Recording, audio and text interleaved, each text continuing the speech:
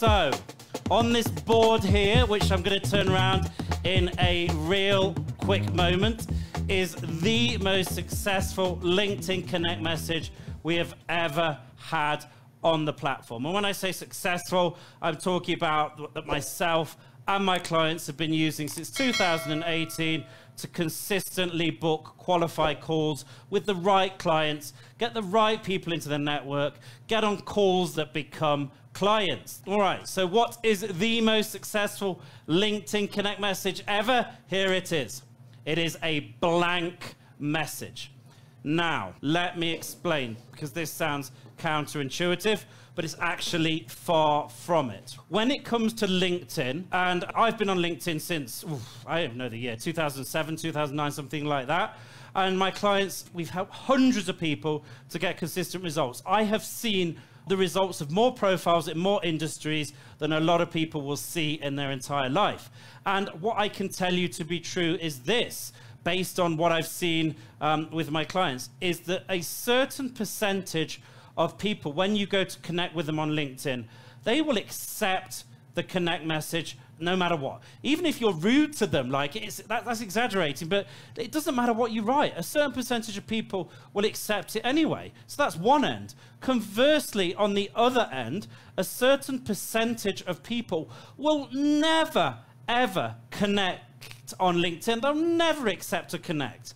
Even if you like do a dance and jump through flaming hoops of fire, a certain percentage of people will not accept that connect message. That's just the way they are. That's just a pattern you see in any form of lead generation. A group that will, a group that won't, and a group that are on the fence. Now, you may be thinking, but yeah, but I want to convert that group that's on the fence. And that's a completely valid assumption if you're doing things at volume i.e., if you're doing paid advertising and you're serving thousands of impressions, which basically means people seeing your advertisements every single day, it's worthwhile optimizing to the nth degree to get the people that are on the fence. But if you're not doing paid advertising, that for the amount of effort it requires to optimize a connect message, it's really not worth it because you're only converting a small amount that are on the fence. So what do you do instead? So let's imagine this board represents the sales process on LinkedIn.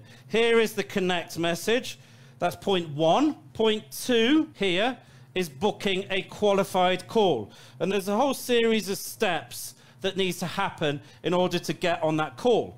The connect message is not where we want to start focusing. We want to focus around here once someone has come into our network with minimal effort. Once they're in our network, that is where we want to focus. We want to focus on that individual here and not here. Because we literally, you could just pull open on your phone, you could pull Sales Nav or LinkedIn on the homepage and click connect 20 to 30 times in the morning while you're on the treadmill and you would have done your connects and you will get as good as results as someone that spends an hour painstakingly deciding what to write in a connect message. That's reality.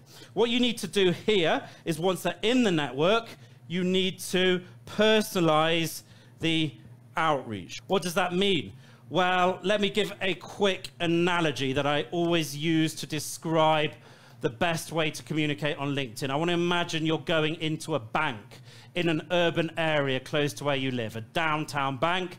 It's a Wednesday lunchtime. You go into the bank, there's likely to be a line of people waiting to be seen. Now, let's imagine you walk in the bank, you have total disregard to everyone there. You walk to the front of the line and you stand in front of the person at the front of the line with your back to the person behind you and you don't say a thing. The probability is high that you would cause a scene, right? It's not following cultural conventions. It's just not a good way to behave. Now, let's replay that scenario. Let's imagine you walk into the bank and it's the same bank, same lines of people. Let's imagine you've got your, I can say this, my son's out here, I've got my three and a half year old here, I'm pushing a stroller with the other arm, it's got my one year old in, the dog's outside barking, it's chaos, right? Let's imagine you just say to everyone in the line, look, I- am really sorry, you, you don't have to say yes, I'll totally understand if you don't, but I don't want to subject you to these kids crying for 20 minutes.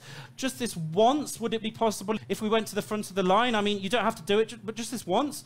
You're not guaranteed to get a favorable response, but the probability of that favorable response and someone going, yeah, yeah, no problem, I get it, jump in. I've got kids, you know, I, I, I know how you feel. The probability of that happening is exponentially higher. Why? Because there's a context for the communication. People know why you're communicating. So what you want to do is instead of focusing here on the perfect connect message, is once that person's in the network, use the information in their profile, use the content they're posting, use their behavior on the platform, and use that as context to start a conversation. Spend your time here and don't spend your time here, and it's a much smarter way to do LinkedIn.